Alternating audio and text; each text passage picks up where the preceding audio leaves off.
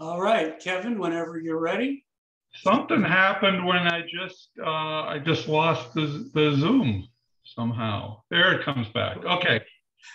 Uh, let me do the share screen if that works properly.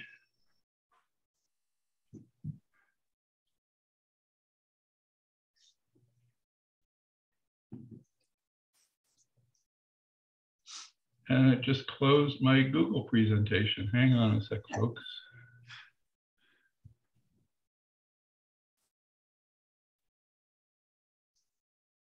Okay.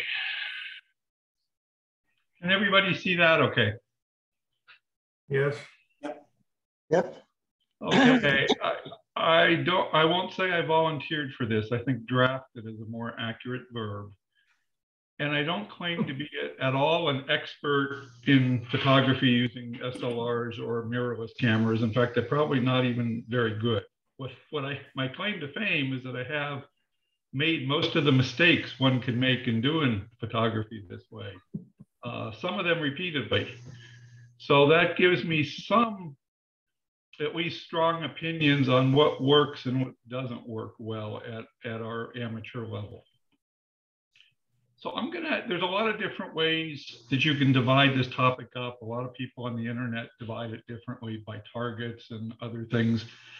I actually approached it a little bit based on the kind of equipment that people are likely to have.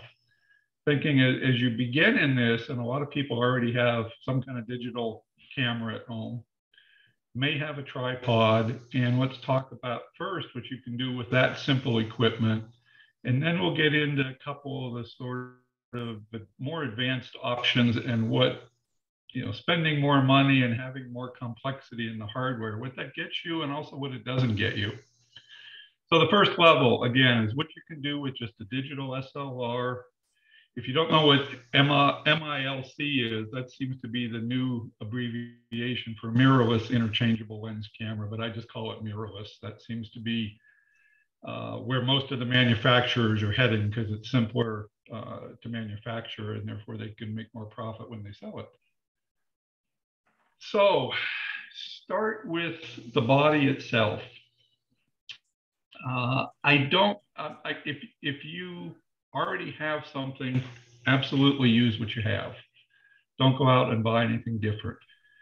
If somebody was starting from scratch, I would not advise going smaller than a micro four third sensor.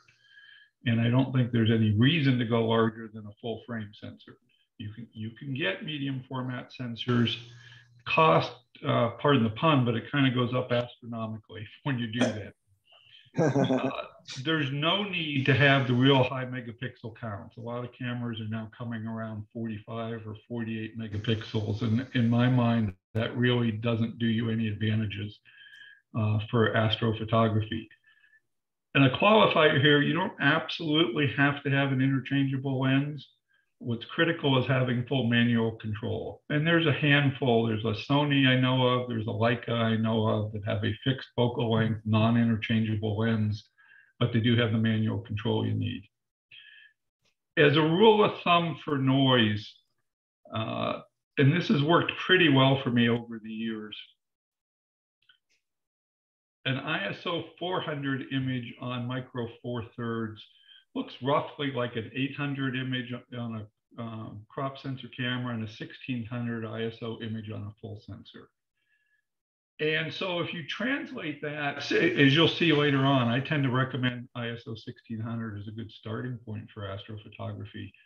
If you translate that and you want that level of noise with a micro four, four third sensor, then basically you're shooting at ISO 6400 which is not ideal. You do get a, a lot of noise at that level. But I'm going to say, repeat what I said up front. You use what you have to start with before you invest in anything new. As anybody who's used a telescope knows, particularly refractors and SCTs, they're a real pain in the neck without a, a star diagonal there. Uh, craning your neck to look at something up in the sky is, is difficult. So a body that has a tilting or a fully articulated LCD on the rear screen is really handy because then you can flip that out at a convenient angle so you're not having to look up at 45 or 60 degrees. Any lens from a, a moderate wide angle to a short telephoto, I think works well as a starting point. There's some qualifiers that we'll get into later, but generally a fast aperture is better than slow. And primes, at least for astro, are generally better than zooms. Now there's there's some good exceptions to that rule, but when you're starting out, don't buy a $1,500 zoom lens if astro is your, your primary need until you're sure you need that. Start, start with a $200 50 millimeter lens and see how it goes. Sturdy tripod is kind of obvious. That does not the same thing as expensive, and it's not necessarily the same thing as a lightweight carbon fiber tripod unless you're doing airline travel or hiking with it. What I use is a, is a probably two decades old studio tripod that weighs a ton. Well, for what we're doing, weighing a ton, if, you, if you're photographing from a car, weighing a ton is not a bad thing. Uh, typically, we will wind up using the built-in self timer, but for anything beyond the starting point, having a remote release or a remote intervalometer makes life a lot simpler. What can you do with just that basic level of equipment? Well, you can do solar system phenomenon. You can do the bright solar system targets like the sun, the moon, the bright planets. And probably would interest, I would guess, most of our audience here is the deep sky subjects, the, the, the broad views of the Milky Way, what I call constellation portraits, where you're taking a shot of Auriga or Orion, and it's fun to see what Messier objects pull out of a, of a 35 millimeter sensor frame. And then what are commonly called nightscapes, which puts a foreground object in the, in the frame. And those get a little more complicated, as we'll see. Any, by the way, any questions at, at any point, people just jump in and interrupt. So techniques. Um, first rule: take take it off of auto.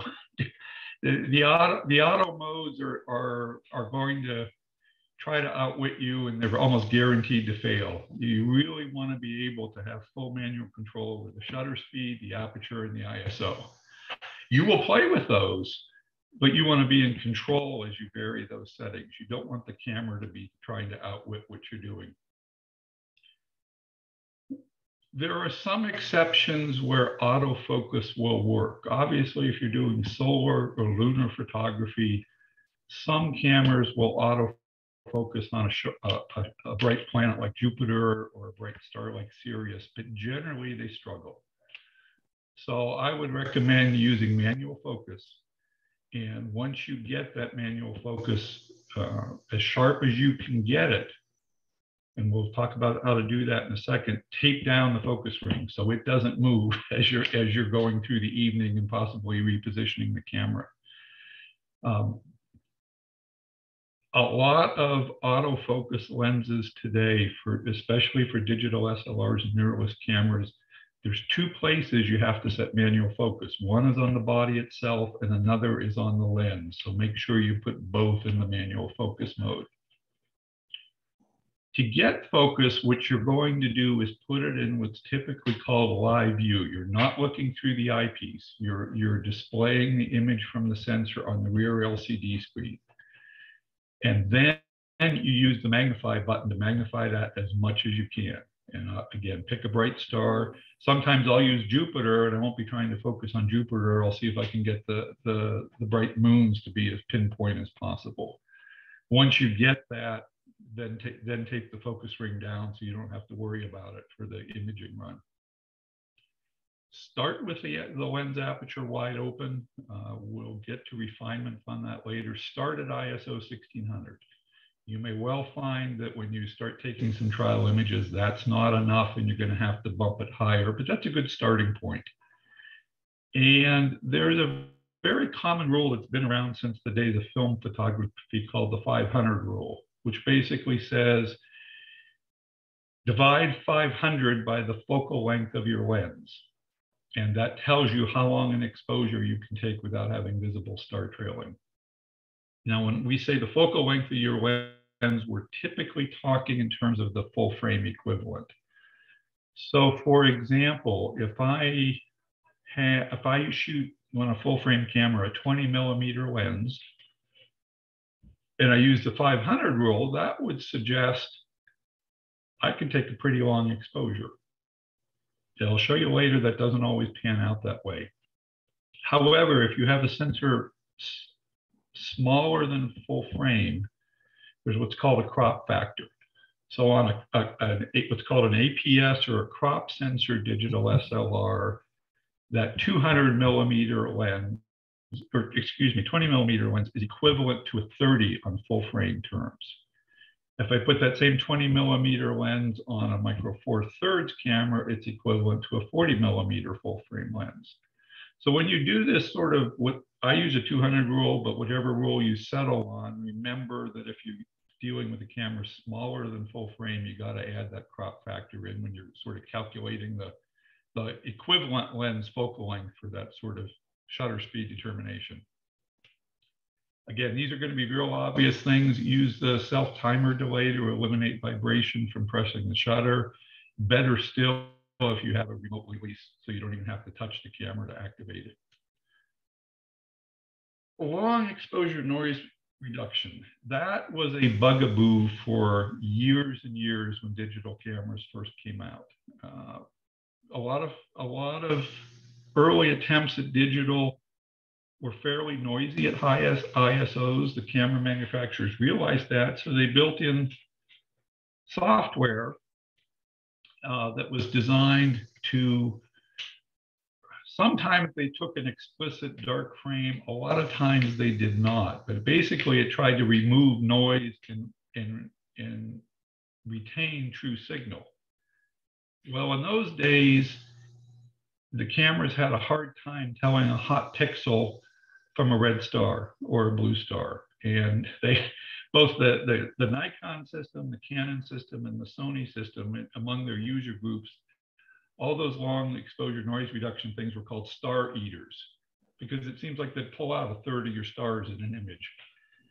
They have gotten a lot better and particularly in the, in the temperatures that we tend to photograph in, I would try them. If you have a relatively recent camera, I, I think they may be the way to go. That was not the advice people would have given as recently as five years ago. Uh, when you're on manual, the, the beauty of digital is you get the instant feedback. You're not having to wait a week to get the slides back from the processor. So take, take your test exposure.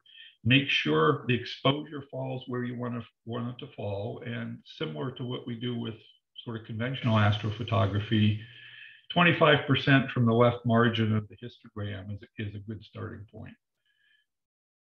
But the beauty of digital is if you miss something there, if it didn't compose properly, if you overexposed it, um, if you tried the 500 rule and found you don't like how much start trailing you got, it's so easy and it's zero cost to just tweak that, tweak one or two of the settings and, and try it again until you get it where you're comfortable and where you're comfortable with the results.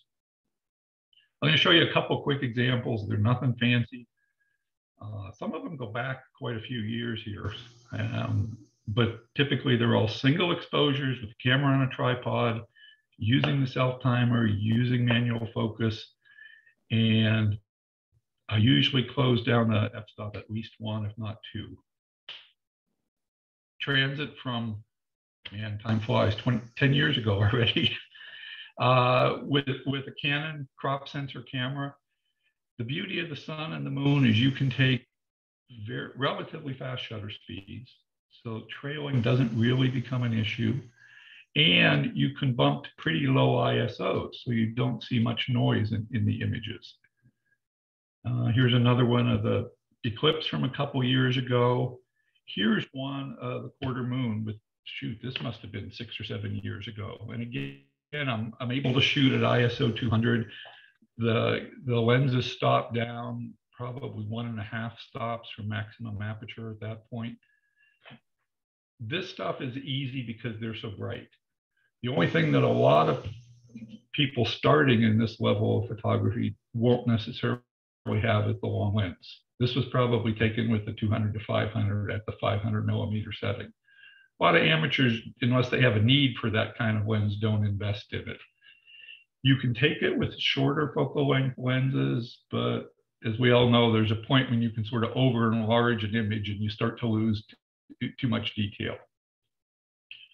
Uh, this is this was one taken with the 200 to 500 at the 500 setting. This was, oh, excuse me, that shouldn't say f4.0 because I wish my lens were that fast. That would have been f6.3, but I could still take it at a moderate ISO. It's it's easy to frame, it's easy to focus. Bright bright targets are not your problem here this starts to be probably the kind of astrophotography most people are interested in, which is capturing the stuff up in the deep sky, the Milky Way, the Messier objects, um, sometimes with a foreground object, sometimes with not. This was some just experiments I was doing on a trip up to the North Rim, and it was at the very tail end of the season when essentially everything, including the lodge, was shut down. The only thing that was open was the campground and the restrooms Surprisingly, at just a 10 second exposure, all the red light here is coming from the red exit signs, which were still illuminated inside the main lodge. But this one's interesting for a different reason, and is why I'm showing you. In this corner of the vertical image, that's the Pleiades down there. And up here is M31. I mean, in a, a single 10 second exposure with a fair, you know, fairly conventional, not state of the art camera, ISO's bumped up a little bit a stop from that starting point. It's easy to capture that.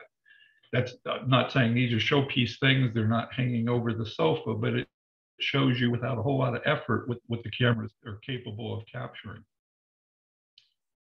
This is probably a little closer to what people imagine. You're having a nice view of the Milky Way, you're comfortable with the colors, it's got an obvious flaw in the foreground. This is this is what I get for not paying for a proper male model in the foreground. I, I had to make do with whoever wandered in into CAC from out in the desert. So that, that's that's tough. Here's where I was using. Yeah, resemble that. Yeah, you do resemble that.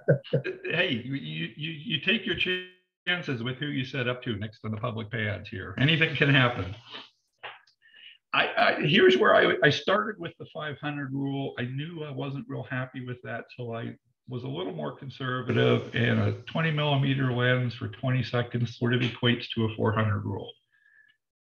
Here's why I don't like the 500 rule. I don't even like the 400 rule. Notice the visible trailing on every star. It's a short dash. It's not a pinpoint. Now, you would have to go to, to awfully short exposures to get pinpoints. There's a level where people are more comfortable with. As I said earlier, personally, I would advise a, a 200 rule. Uh, I've not been happy with anything at sort of the 500 rule level. This is a this is a nice image if you were looking at it on a phone, if you were looking at it on a small tablet. But if you thought you wanted to enlarge that at home and print it, you're probably not going to be happy with how the, the star images in the corners or even in the center. Remember, when it's trailing, everything is trailing here. This hey, Kevin, that shows up beautiful on a calendar, buddy. oh, okay. um, this little crop is sort of just left the center, but I could I could have taken the crop up in the corner. I could have taken it dead center. All the stars will show as trailed there. So again, my one of my bits of advice is don't buy the 500 rule. I think that's now obsolete. This was one taken with the 200 rule and a fisheye lens down at CAC. This is a small sensor camera. This is micro four thirds. And yet, and here's a case where I unfortunately needed to bump it up to ISO 6400. That starts to get to be pretty noisy, pretty grainy if you enlarge it a whole lot bigger than what, what I'm showing to you here. But it's a decently pleasing image. This is one where I'm, I'm probably getting a little better with the post-processing.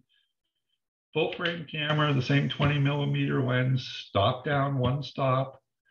ISO, I raised it one stop to compensate for stopping the lens down. So I started, I would have used ISO 1600 with the lens wide open, closed the lens down a stop, bumped up the ISO, used 13 seconds just to get a little more light in the sky. I did some 10 second ones, which are the 200 rule, and I was just trying to push the limits a little bit.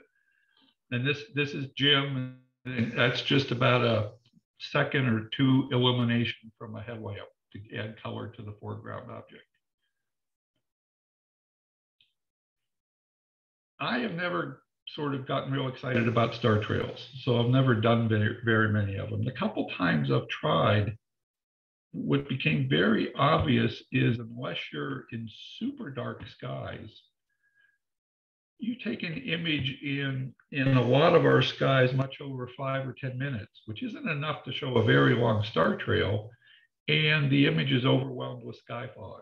All that background light from urban lighting, from dust and haze in the atmosphere, reflecting those urban lights, you lose the signal of the stars. I know Olympus, and why I'm showing you this, this image, Olympus has a little crafty way of getting around that, with they call live composite. And you take an initial exposure, it records the light levels at every pixel, if you will. So you, you, you properly expose for your foreground, for the silhouette of the trees, for the sky background. And then it takes a whole string of identical exposures right afterward. But the only thing it writes to the, that saves to the, the card storing the image is any increases in light level. So if the rotation of the Earth causes that one, that one star, which formerly had been on a pixel here, rotation is now sort of lit up a different pixel, it will record that new light. It won't keep adding light to the foreground or the sky background, so it doesn't wash out the base image, if you will. And as, as this guy demonstrates, you can get nice star trail there. And you know, he was doing this just pre-dawn, so there's a fair amount of light in the sky. But you can imagine if you tried taking a 45 minute exposure in a pre-dawn sky, it's going to be pure white. I would guess some of the other mirrorless manufacturers are trying to adopt similar things to what Olympus is doing here. I don't know when their patent on this live composite thing runs out, but star trails are possible the, with the right sky.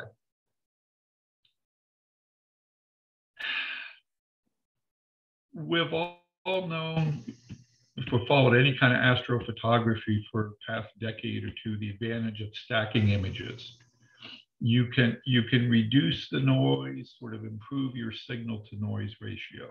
And there's been free software programs out there. Most of the the dedicated astro processing pr programs also have some stacking features built into it.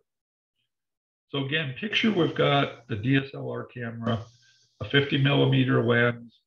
We're pointing it somewhere near overhead, and we want to get Cygnus, a portrait of the constellation Cygnus. So you don't have any foreground objects in that image. You don't have the horizon in that image. You just got stars. You can take a series of short images up to the limit of where you can tolerate the trailing and say that's a 10 second image, like the one I showed of Jim down at CAC. Take a half hour or an hour's worth of those 10 second images and stack them in either free software or a dedicated processing program. That's been kind of a no brainer in astrophotography world for at least a decade. Now, the next improvement people made when they wanted to have a foreground image, but they needed a long, longer exposure or more stacked short exposures is, well, how do we deal with that foreground? I mean, the, the stacking software kind of simplistically assumed in the old days everything moved. And so we can take this pinpoint of the three stars in Orion's belt and we stack them in successive images so they all align. Well, if you have a tree in the foreground, that's going to have the effect of blurring that foreground image. The traditional method of doing that was to take a single image of the foreground expose it the way you want. If maybe you don't want that tree to be a pure silhouette, maybe you want a little bit of, of late dusk lighting on it. uh, and then use Photoshop to layer that foreground image on top of the stacked image of the stars. I've seen, and you've probably seen some wonderful results using that kind of technique. It's a little bit of a headache to do, but it, it, it, it is very good for quality. In the past couple of years, there's come out an, an easier system in, in two software packages. For Macintosh, it's called Starry Landscape Stacker. For Windows, it's called Sequator, if I'm pronouncing that correctly. And basically, you take your stack of everything, the stars in the foreground image, and before you start processing, you delineate with your cursor what's the foreground image that is not to move. And it will extract that foreground image from one, one image in your stack. So it will stack all the stars and it will superimpose that single foreground frame over, over the image. And I, it is that's kind of a wordy way of doing it. It's easier to show you with examples. This is one from the Grand Canyon this summer. Again, small sensor camera, fish. Yeah, that was the fisheye for that one. 16 frames stacked in Sequator. All I had to do was use the cursor in that software to delineate the rim of the canyon here. Came out with a decent result. Um, again, because it's small sensor, because it was a bit noisy, it's high ISO, I'm not sure that would hang over the sofa. But for sharing purposes, it's a fairly pleasant result. This one was fun to do, but it takes a little explanation. This is a this is a full frame fisheye. So it's 180 degrees from corner to corner. Mm. The left edge is Colorado River upstream to the east. The right edge is Colorado River downstream to the west. This rim is the north rim behind my head, and this rim is the south rim at my feet. Now, this one, what happened is we started to get some clouds along the edge of both rims, so that that here you get a nice crisp edge to the can edge of the canyon. Here it starts to get soft, and that's because there's clouds in some of the frames, which I think confused the, the stacking software. Again, I don't claim these are great examples, but what they do show is with a single camera and lens and a tripod and short exposures, you're not restricted to just single frames like that. You can actually start stacking multiple short frames and get a result like that. That would be far better with a full frame, but I wasn't lugging a full frame and a heavy tripod down to the river. So let's move on to where do you go beyond that? Well, the obvious next step is you deal with that problem of the stars trailing over anything beyond a very short exposure. Everybody's heard of these star trackers. There's any given time, there's at least a couple good ones on the market. I think they probably start around 300 and probably go up, you know, closer to a thousand. I've had several. I'm down to one. I mean, I realized about a year or two ago that I had three, and I really shouldn't have three. But some of those were a learning experience, and I wound up with an iOptron as my current one. That functions like a single axis telescope mount. It tracks in right ascension. That solves most of your trailing problems. In fact, if you get accurate enough polar alignment, it solves all your trailing problems. The newer ones seem to have built-in rechargeable batteries. The older ones either had replaceable double A's or they had a separate power source. And so that's why I made the comment beyond the tracker, you need it, you need the power source if it's not built in. Here, I would argue because you're tracking, let's say you're taking an hour for that Cygnus portrait instead of one single 10 second exposure, you don't want anything to move. You, you probably need a heavier, sturdier tripod. You don't want the camera to move on the, there's a separate, typically a ball head that mounts the camera to the tracker. I'll show you a picture of one of these rigs later on. But just like in regular astrophotography, you have to lock everything down fairly tightly, and it starts with having a stable base, which is the tripod. I'll show you in a second what I mean by L plate if you don't know what that is. Like a conventional telescope mount, star trackers need accurate polar alignment. So you not only have to spend some time on that at the front end, but you need some optical or electronic assistance to get that accurate. That's typically not something we any of us can eyeball very well. Some cameras have a built-in intervalometer where you can say, I want to take a series of 60 one-minute exposures of Cygnus. Most still don't have that, and so I've become a fan of having a remote one. It seems to be a little easier to program, and it, it saves you sort of getting near the camera during the exposure sequence. L plate, a little detour on L plates. In the telescope world, we have two standard dovetail mounts for mounting the scope to the, the, tripod and the head. And it's either the skinnier Vixen dovetail or it's the wider Losmandy dovetail. Photography world, there's there's a different one. It's sort of similar width to the Vixen dovetail, but it's much shallower. It's maybe only about an eighth to three sixteenths of an inch high. But it, there is a single standard called Arca Swiss, which is used for both the plates that go on the bottom of a camera or a long lens, and then the clamp that goes on the top of a tripod head. I'll show you this to explain why I think that's important. And it's not a very expensive refinement. This is on the left photo here is what an L plate looks like. It's a single piece of machined aluminum that secures to the base and wraps up the left side of the camera. It's usually, you can't see it here, but it's cut out. Well, you can see a little bit on this one. This is cut out so you can access the ports typically found on the left side of the camera. If you did not have an L plate and you wanted to take a photo in vertical orientation, this is how you have to do it. The, the, the head of your, your ball head drops down into one of these little slots to enable you to position the camera vertically. But look how unbalanced that load is. Everything's hanging off one side. I mean, I just did this on a small tabletop tripod, but the same principle would, would apply, especially if you're sitting on top of a star tracker. The L plate lets you use the short vertical leg of the L, and you can center the weight of the camera and the lens directly over the ball head. So it's one of those that sort of makes the whole rig a little more stable for not a whole lot more money. What does tracking get us? Uh, it'll obviously allow us for longer exposures, which means you can start getting into the brighter deep sky objects and you no longer are restricted to a really wide angle lens. You can start taking short to medium telephotos of something like the North American Nebula or the Orion Nebula.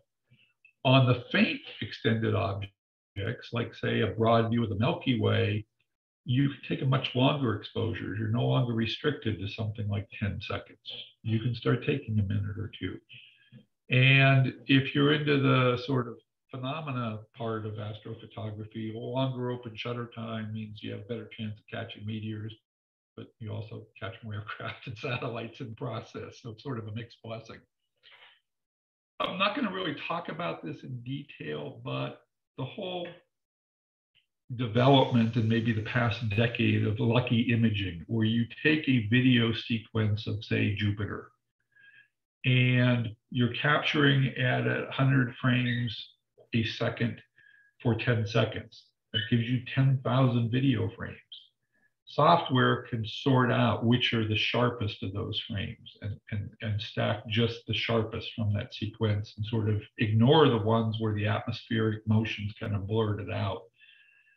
Almost all modern cameras now that are good for, for single frame photography are also very good little video cameras. So with the right long lens and with tracking, all of a sudden you could do some very good results on say the lunar surface instead of taking a series of short conventional single exposures, take 10 seconds of video. Use software. Greg, I'm blanking on the name of the software we use for planets now. Um, Fire uh, capture. Yes. Um, you know, use something like that to extract the 100 sharpest frames out of that sequence, 10,000 video frames, and you, and you can do some decent sort of solar system imaging with that. techniques. Um, if you were shooting with a fisheye, if you were shooting with a very wide angle lens, something in say the 14 to 20 millimeter range, you might be able to get by with eyeballing your polar alignment, and that might be good enough to allow you to have um, exposures of 30 seconds or a minute. But boy, once you get to longer exposures, once you get to longer focal lengths, you really need precise polar alignment. The, the second sentence in that first bullet is something Doug taught me, which is when you balance your, your setup, balance it pointed at the target you intend to photograph. Don't don't sort of what, what and what I used to do was you, you, you start with the scope on you know pointing at the at, at the north celestial pole, get your polar alignment, you balance it in that position, and then if by chance you're shooting something toward the southern horizon, which typically we do, that balance is no longer quite accurate in some ways, it probably becomes a little more critical with star trackers because you've got some moving parts perched on top of each other. You have your tripod, there's a latitude adjustment base, which has some mechanical screw adjustments like our telescope mounts do. On top of that is the tracker itself, which has a single axis drive. On top of that, you have a ball head. And then on top of that, you have a camera and a lens. And so you've got to be, it's not just a matter of the, the objective accuracy of your polar alignment, but if you polar align and then have to move the camera to say photograph the Orion or Nebula, odds are really high you, you, you've bumped your polar alignment just a little bit in that process. So my advice is do your polar alignment in the shooting position. 500 rule no longer matters here. We, the whole reason we got the star tracker is to eliminate that star trailing. But what you need to do is take e each com combination of lenses that you might want to use on the tracker and run some experiments and say, okay, for my wide angle 20 millimeter lens, I can do a four minute exposure and 80% of the stars are still round. That's a good enough keeper rate. If I want to use a 50 millimeter lens, which is a little bit longer, maybe I can only do two minutes worth before I have to start throwing out too many frames. And if I want to use a 200 millimeter telephoto, maybe I'm only able to do one minute exposures. That's that sort of common result. Don't expect that you can always do a 10 minute exposure with a long telephoto because these trackers are just not built that sturdy. The gearing is not as finely machined as you would expect on a good telescope mount. So the second bullet is to figure out what, what's the longest tracked exposure you can take, take some experimentation. Continue using manual exposure Here's a case where I think ISO 1600 is still a good starting point, but you have the flexibility because you can take longer exposures now and the tracker's keeping up with the stars. You can actually dial that down a little bit. You can drop down to ISO 800 or 400. That typically gives you better star colors. That typically gives you a touch more dynamic range in the image. Uh, manual focus again, just like we've we've done before. And again, I I'm I never used to trust long exposure noise reduction. I'm starting to. And we'll talk a little bit about why it's an advantage over the conventional way of, of doing noise reduction. This last point is sort of the most painful. This the, the need to stop down. You can have some very expensive lenses, and I have yet to see one that I consider gives sharp stars at the corners. I've, seen $1,500 lenses that don't give sharp stars at the corners. So again, because the tracker gives you some luxury of a longer exposure while your stars still stay round, you might have thought, well, I, I paid good money for this f2 lens damn it, I'm going to shoot it at f2 in a two sec two minute exposure. Stop it down one stop and shoot it at a four minute exposure, and you your stars in the corners will be much sharper as a result. Here's an example of part of my learning process, the trial and error process. This was with a Rokinon 14 millimeter lens, 2.8 wide open. Almost every site past half dozen years identified this as the best bargain lens for Milky Way photography. Sharp to the corners is the phrase. 15 second exposure, already closed down one stop, and yet look at what the stars are like in the corner. This is not this is not motion of you know the the, the stars trailing. You don't see that in the center of the frame. You only see that on the corners of the frame. Um, I sent that one back. Got I read some reviews that suggested the 16 millimeter was a little better. So I returned the 14, and this is what I got from the 16 in the corners. uh, third one I got was acceptable, and it died a year later due to other circumstances. So I'll tell you a little more later, but basically, as a rule of thumb, money doesn't necessarily buy you the best optical quality if you're fussy about how things look in the corners. This is a single direct exposure. Uh, back when we, seven years ago now, we had a decent comet by the Pleiades. Two points about this one. One, this is when I started to believe a little bit in long exposure noise reduction. And in, in the case of Nikon, as soon as you finished your light frame, it immediately takes a dark frame of the same exposure and then subtracts that. And it seems to, at least in current generation, have gotten pretty good about not tossing out the stars in the process. The other point about this one, this is taken with a $200 50 millimeter lens. Yeah, I had to stop it down two stops, but I mean, it's not a bad result for a fairly inexpensive proposition here. This one, is, is stacking multiple exposures. This was 23 light frames, seven darks. They were a real pain. I'll explain why in a minute. Um, this was with a, uh, a Canon and mounting a legacy short telephoto from Nikon. And again, had to stop down one and a half stops from wide open, but it holds up decently. So where do we go from that basic level of, of camera fixed on a tripod to camera fixed on a tripod, but stacking a series of short exposures to camera on a tripod with a star tracker. Can you improve things at all? This is my personal path here of, of what I thought was reasonable improvement for the investment.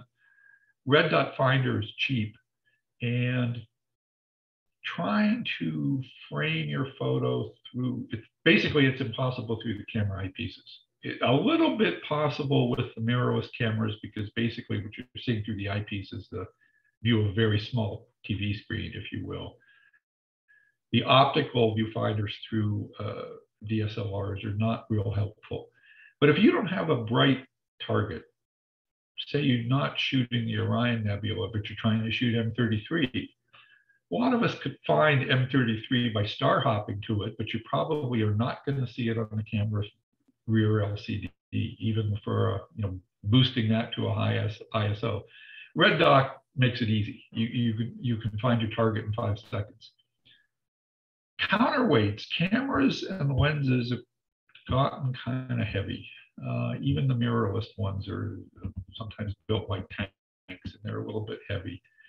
And so I think a counterweight system, which is because it's not electronic, it's just basically, you know, steel and iron, is a pretty cheap enhancement to this that gives you better balance. The appeal of this kind of photography is you don't need a whole lot of gear. In fact, you don't have to have a computer with you. You can set the camera to record your 20 frames and bring it home and process it at home.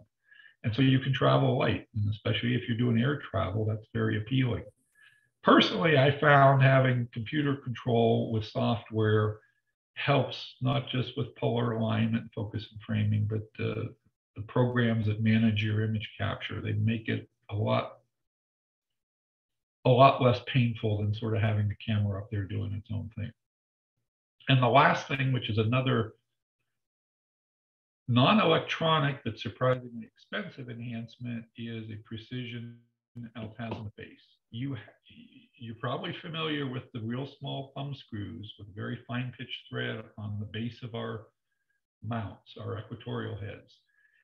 That's what you adjust to get your, your RA axis pointed precisely at the celestial pole. Usually what's built into a three or a $400 star tracker is not very precise. And so once you get out of the realm of wide angle lenses, buying a separate altazimuth base that gives you that precision for polar alignment is very, very useful. This is, I actually overshot a little bit. This is backing up to the, the maximum that I would bother using out, out in the field. And that's a, a full frame camera that I've had for a number of years. It's not the current model. The lens is heck, 10 or 15 years old. Uh, the Sky Guide, the Sky Guider Pro is maybe only about four, four years old. And the version I got has the electronic polar alignment feature. It sort of has a very small camera in there. It does a quick plate solve and guide you on a computer screen as to how to tweak tweak the base to get as close to perfect alignment as you can get. Main reason I do that is I can no longer tilt my neck enough to look through an optical finder that's elevated 34 degrees above the horizon. This has the uh, counterweight system, which I don't know, 60 bucks if that. It's got that that precision altazimuth base I just showed you a picture of, separate ball head to mount the camera on top of the tracker, the big old studio tripod, a little red dot finder sitting in the hot shoe, and a cable leading to the laptop. And Doug's seen me do this when I have the main telescope and CC, you know, CMOS camera running and I get bored. I set up this and run this in parallel, uh, you know, in another corner of the pad and image something else at a different focal length or a different target. Hey, Kevin, can I jump in here for a second? Yep, absolutely. Go back to your picture there for a second. I want to point something out to everybody. Yes. Um, everybody, I'm a retired professional photographer and I know a lot about tripods. And one thing I want to emphasize is you cannot underestimate the importance of having a sturdy tripod. Absolutely. It is, it is the weakest link in your system if you have a weak tripod. I've seen people throw money at cameras and lenses trying to fix their photo problems when it was merely they had a bad tripod. Um, so getting a good sturdy tripod, and especially most tripods have that little extension. It's a one tube that go up. Don't use it. If you on my Gitzo tripod, I was able to throw that away. It's not even in my tripod anymore. My ball head mounts directly to the head of my tripod. Once you send that little shaft straight up, you now have a monopod. Those three legs aren't doing a damn thing for you. Yep. So I, um, uh, Kevin here has a Manfrotto tripod. Highly recommend Manfrotto as well as Gitzo. Those are the do, do not buy tripods from Best Buy. Correct. And in, in, in fact, the, the, the, last one I bought for an upcoming trip is a Leofoto, and it's got precisely the detachable center column because I really did want it. I, I recognize that's a weak link. There's the big push is to buy carbon fiber, and yes, it's it's very light for its strength. It's very um, it resists vibration pretty well, but it's ultimately still light. And if you were, say, photographing in windy conditions, if you're like me and you kick your tripod leg several times a night, I actually prefer something that's heavier. If I had the money and we're doing this as my primary source of nighttime photography, I'd probably be buying one of those Berlebach wooden tripods. And yeah, right. that, may, that may weigh 20 pounds. That's not a bad thing. Yeah. And the other thing you can do, a lot of tripods in that center column, they might have a hook at the bottom that comes down. Mm-hmm. From that hook, you can hang like a sandbag or even your backpack or something. You hang a weight off of that, and that pulls everything down and helps keep your tripod steady because even the vibration of you walking around on the ground or on a tripod will cause vibration up through that. And that's why heaviness helps. Anyway, Absolutely. My piece about tripods, Kevin. And, and, one note on, on your comment there, I learned the hard way that when you hang a weight bag off the bottom of that hook, you don't want it swinging free because the wind will start some vibration. It's best to have it just touching the ground. So the bulk of the Yeah. weight is still pulling the tripod down, but that contact point keeps the bag from swinging around. Yeah. Um, I'm almost done here, and we're probably almost done on time. So these first four bullets, I think, are for a modest cost. They're worthwhile refinements if you start doing star tracker kind of photography. And then I do a dotted red line here. There's a couple more things I want to talk about. I would personally caution you to think hard before you go there. Um, this is where that voice in your head should be saying, danger, Will Robinson. These are of, well, let me, let me talk about them individually and I'll tell you my, you know, my take on them collectively. Guiding, you know, it takes a separate guide camera. It takes a separate little guide scope. It can be very small. It could be one of those little 30 millimeter ones. But the weak link in this one is it's only guiding in one axis. It's not guiding on your Dec axis. The lack of red sensitivity is a big problem with conventional cameras. The sensors themselves are pretty broad spectrum sensitive, but the problem is camera manufacturers put a filter in front of the sensor to filter out both extreme ends of the spectrum, the UV end and the deep red end. And as a consequence, we tended to lose the stuff that sometimes we care about the most. And I'll show you an example of that in the next slide. Left is an unmodified DSLR, two minute exposure of Cygnus, and you can barely top center make out a little bit of the red signal from North American. Not a whole lot. And in fact, I had to boost saturation to bring that out. Well, when you boost saturation for the whole image, you make every star a little bit out of whack as a consequence. This is the same exposure, same lens with a, a modified Canon SLR where you send it to an independent service, they pull out that filter and replace it with clear glass. And you can tell just quick glance, you're getting more distinct hydrogen alpha at the nebula. You're getting it back here through the heart of Cygnus.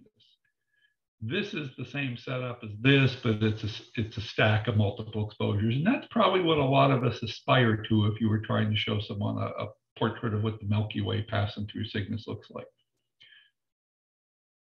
Camera manufacturers in the recent years, at least Nikon and Canon, have both issued a specific model for astrophotography designated by a little A at the end. So in the case of Nikon, it was like a D810 sub A. And it had both the filter removed and a couple other things. A lot of people will take a, an existing camera that they're no longer using, they'll buy something uh, used on the market and have it modified.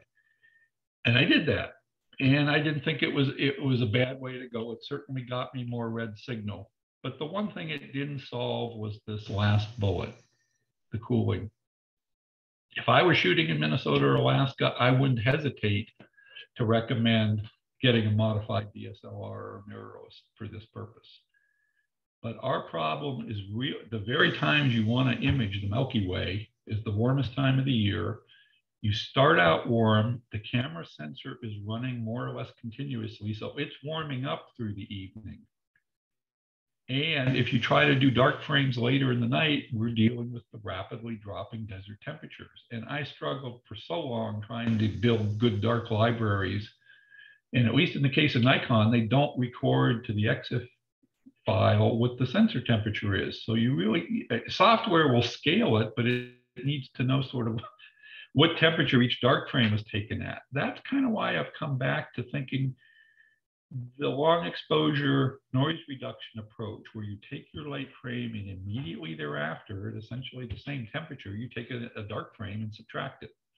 And then you do another pair, and then you do another pair. And that seems to be, in my mind, a more efficient way to get this done. The other reason I sort of put this red line here and said I'll talk about these three together, together if you were, I've sort of accumulated those bits and pieces over the years, and a number of them were used. If you went out to buy that new, I think you could probably get all of it new. That's about three thousand dollars worth. That's before you do any of these things. If you get anywhere approaching that, I would seriously advise you're better off with a short refractor, with a cooled camera, which is really nice to have in the summer in Arizona, and with a conventional um, EQ mount that can track in both axes. For the similar investment, you get more versatility and better results, I think. Couple parting thoughts on lenses, and then I'll wrap it up here. The good news on lenses is you don't need autofocus, you don't need electronic aperture control.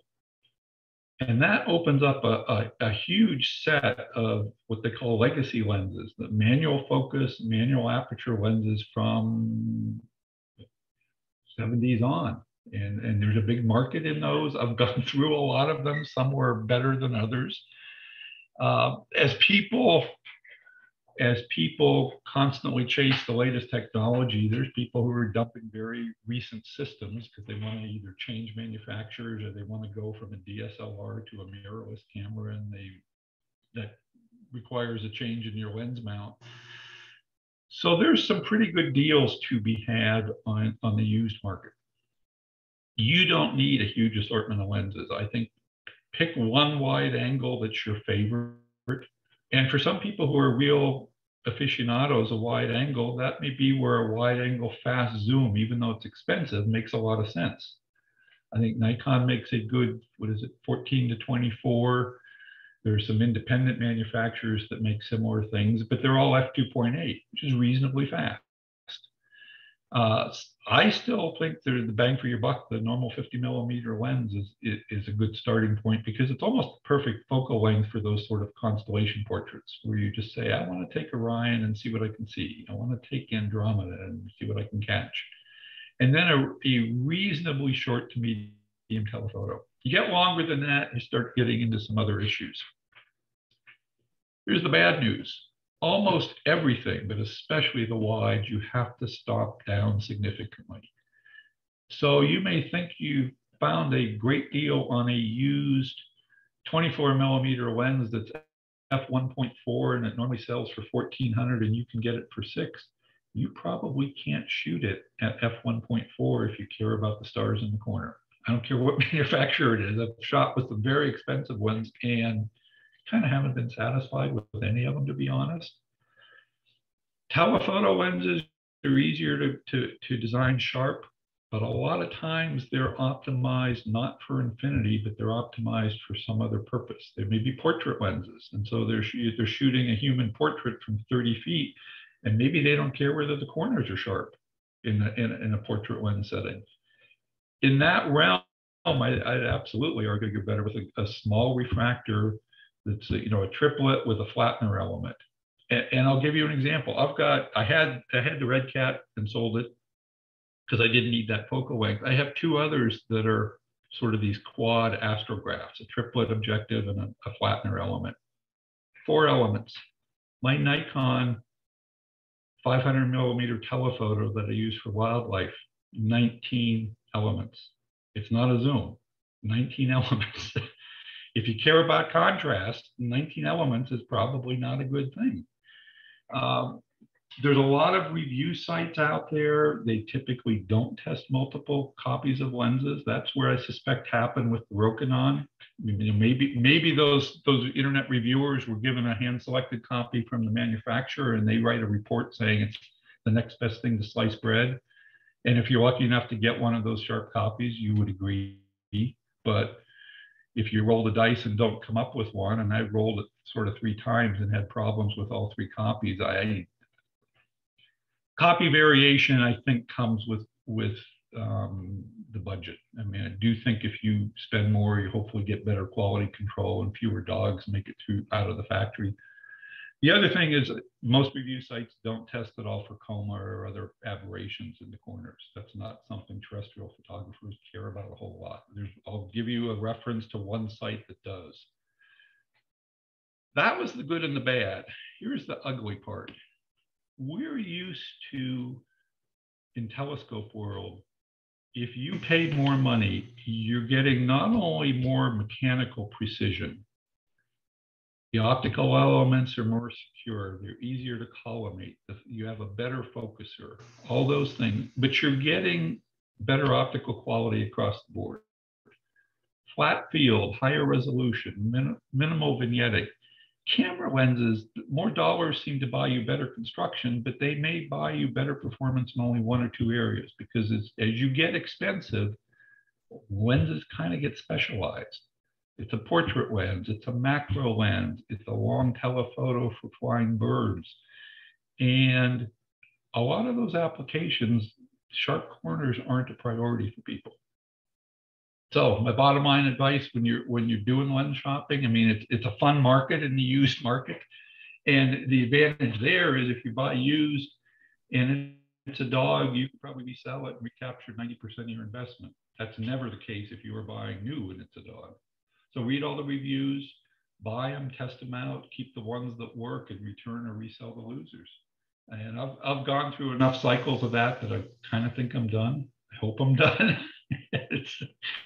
you never know, but uh, here's, I'll, I'll, close with, with some resources. Um, the top five online sites, I think are all good parts of them are a little dated, but sometimes that advice, especially if you're starting at that level one, just a camera and lens and a tripod is still very good.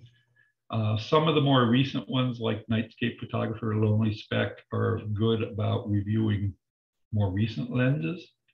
Clark Vision is people people like Doug or Greg would love, love Clark Vision. if you understand what I mean, it gets very technical.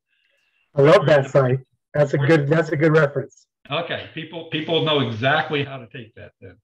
Yeah. Um, Fred Fred Miranda buy and sell seems to be very reputable online for buying and selling used stuff. Lens Tip is the one site I know of that does test lenses for uh, coma and other aberrations. My all-time favorite program dealing with this, there's a guy in Canada who started out writing backyard EOS for sort of laptop control of, of Canon cameras for astrophotography. And he's come out with a Nikon version as well. And to me, it's worth the headache of traveling with a laptop just because of the added control and features that that gives you. And PhotoPills is a little app for your, your phone or your tablet. One of the features it has if you think about how long you can take a a an expo- a single exposure of the stars without the trailing showing, obviously that depends on what declination you're shooting at. You can shoot pretty long on Polaris before it starts to trail, but something on on on the equator um, at zero dec, you know, is going to be your shortest one. Well, in PhotoPills, you can enter the frame size, sensor size, and sort of the limits of where your target is and it will give you a very precise number. And you have two choices. You can opt for the super sharp round stars, or you can opt for sort of the acceptable trailing, but a little trailing is okay. So it, it's a it's a handy feature. And with that, I'll wrap it up because I've sort of taken an hour. Any anything I can answer.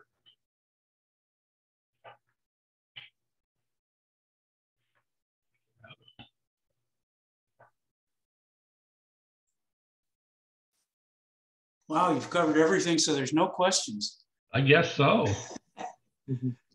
uh, any, would... favorite, any favorite mistakes I made that you want to sort of rub my nose in? And drinking from a fire hydrant. I and it's again, I, I if you have the gear at home, it, it, it, it just takes some time to start experimenting with it. Um, if you do a lot of travel, I mean, we already have access to good dark skies within two hours of Tucson. But if you're if you're traveling overseas, if you're if you're traveling to photograph aurora, having sort of a basic system and knowing how it works before you leave home is is is is nice to have. the next obvious increment is going to a tracker. Well, in my case, I sort of figured out the tracker's nice when I'm going to dark sky with a car and I can take the studio tripod and I can take the laptop and I can take all the, the bits and pieces. When I went to the Canyon, I just took the Olympus and a, the, a very lightweight tripod, we'll say. okay. Uh, but then when I get serious and you want to duplicate the kind of things that you see people like Greg or Alex or, or, or Doug produce, your money might be better off in a real scope and a real cooled camera and a real EQ mount. There, there's only so far you can push the DSLR or mirrorless cameras, and then you're trying to make it into something that's not. Uh, Kevin, I have a question. One, sure. One thing that you didn't touch on was mirror lockup.